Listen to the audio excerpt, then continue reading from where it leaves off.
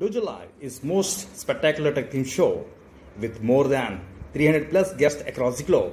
We have interviewed tech geeks from different industry vertical. It's a great way to build genuine connection with audience.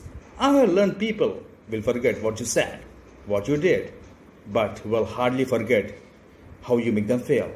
That is what all about Dojo Live. Why? Because it was inspiring, informative, insight, and actionable.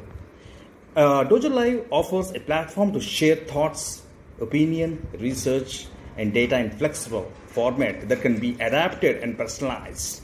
For a few shows that are cultivating culture awareness and helping listeners to rethink critical topics.